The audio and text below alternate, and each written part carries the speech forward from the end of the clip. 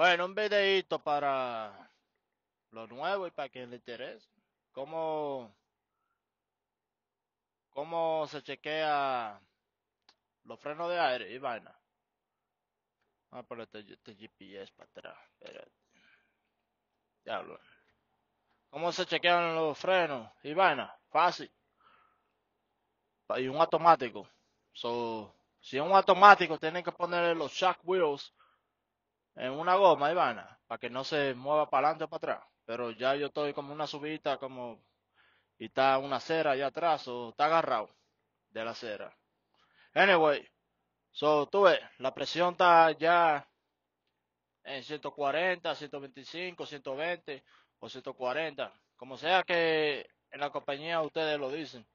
Aquí tenemos que decir, oh, eh, las agujas están de aire entre las 120 o 125. Ahora quieren que diga 120 o 140. Tiene que tener suficiente aire para poder hacer los tres pasos de chequear los frenos que estén seguros de viento. Lo primero es apagar el aire acondicionado. Que no se escuche nada, baje radio, lo que sea. Porque hay que escuchar por sonido, por aire, vaina. So, tú ves, yo tengo el camión prendido. Ahora lo voy a apagar. So, tú dices, ok, voy a chequearlo. Voy a hacer el examen, el... discúlpeme, que lo hacemos en inglés. Solo estoy tratando de decir español. Voy a hacer la prueba de los frenos de aire. So, voy a chequear primero mi presión. Apago el camión. Me aseguro que los frenos estos estén, para adentro, ¿ves? So, si hay uno afuera, si hay uno afuera, oh no, está afuera este, disculpe. Este está afuera. So, antes de apagar el camión, vamos a empujarlo para adentro y decir, yo voy a, soltar mis dos frenos de aire, mis dos parqueos, como quiera que le llame, parking brakes, bobs y vaina.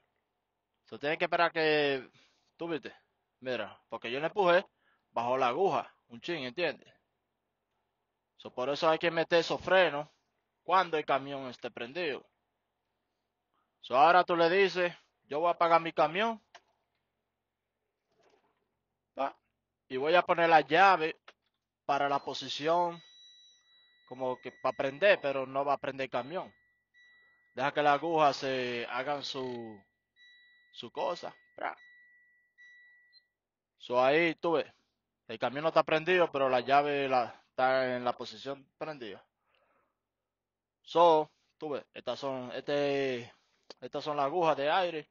Esta es la primaria, esta es la secundaria. Y esta de aquí de en medio es cuando tú presionas los frenos, que se sube. So, es bueno también apuntar esa cuando tú lo presiones. So, por eso tengo el teléfono aquí para que vean esa ahí de medio. Esta es la de turbo. Esta es la de la aguja de la pesa. ¿Cuánto pesa? allá atrás, el camión atrás. So, esta de medio vamos a mirar y esta dos. So, ahora yo voy a decir, ok, voy a, a, pisar los frenos de servicio, dos para abajo, y lo voy a agarrar por un minuto para asegurarme que no pierda más de cuatro vainas de presión en un minuto. Mientras yo escucho por liqueo. El sonido que escucha es el rifle corriendo de allá atrás. ahora lo vamos a pisar completo. So, deja que la aguja baje y se paren. Se espera como tres segundos y asegúrate que esté la aguja parada, ¿entiendes? So, ve, esa está parada y esta está parada. So, ahora le dice, ok, examinador, me puede ayudar con, me puede, ¿cómo se dice en español? Timing, el tiempo.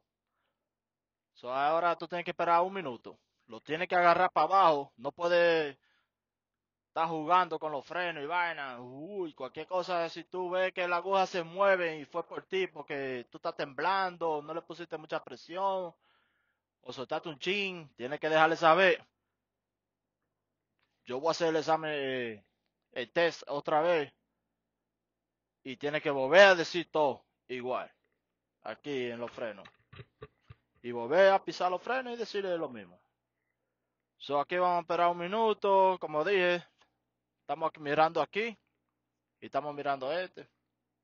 Y a la misma vez estamos escuchando, a veces salen, si escuchamos aire saliendo por aquí o por donde sea. Si tú oyes, pero la única manera que podemos saber si está liqueando es si la aguja pierde presiones. La aguja aquí. ¿Ok?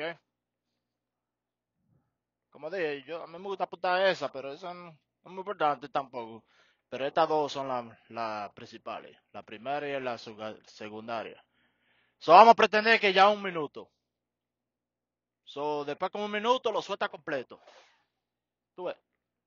Tú ves, esta bajó porque ya yo no tengo los frenos pisados. Pero estas se quedaron estabilizados. Ahí, eso me indica. Tú dices, ok, examinador, yo no perdí ninguna, yo no perdí más de cuatro presión en un minuto, eso significa que yo no tengo liqueo. Eso tiene que decir. Eh, ahora yo voy a hacer el segundo test, el segundo examen, que es para escuchar la luz de los frenos y el sonido de, los frenos. So, vamos a mirar aquí. Aquí tú ves, a matar la luz del cinturón prendida. A ver. So, aquí va a salir una luz de freno. So, ahora tú dices, ok, Mr. Simon, yo voy a, a pompear ahora mi, freno de servicio, lo voy a pompear. El primero lo agarramos completo por un minuto, ahora lo vamos a pompear hasta que mi luz de freno y el sonido prendan en 60 de 60 presión o antes en 60 presión o antes. Tiene que prender la luz aquí y sonar, chequea. Solo pompea, como quiera, rápido o vaina. Lo importante es la luz. Oye, tú ves. Prendió. Pa. Y ese sonido se queda prendido. Eso tú ves. En 60 o antes. Ahí tú dices, ok, la luz de los frenos y el sonido en inglés se dice the warning light and buzzer came on at or before 60 psi. En 60 o antes de 60 psi. So ahora, Mr. Samuel, yo voy a chequear que mi parking brake valves, mis válvulas de freno, mi parqueo de emergencia o lo que sea, le llamen, se salgan solo y se tiene, está supuesto salirse entre 20 o 40 de presión. Entre 20 o 40 de presión. Tiene que las dos válvulas, las dos, no sé cómo se dice español, pero los two protection valves, parking brake, pop between 20 o 40 psi. Ahora vamos a seguir popeando. Okay. So tu ojo están aquí. Asegúrate que estos dos salgan.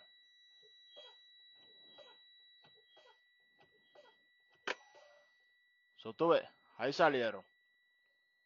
So, antes que diga, ok, ya yo completé mi vaina de freno, mi examen de freno, asegúrate que salieron, nada más mirándolo, no puedes tocarlo y vaina. Pero la, tú el espacio ahí, el espacio ahí, pero a la misma vez tus ojos tienen que estar ahí. Porque a veces sale uno que, y después el otro, ¿entiendes? So, eso es todo.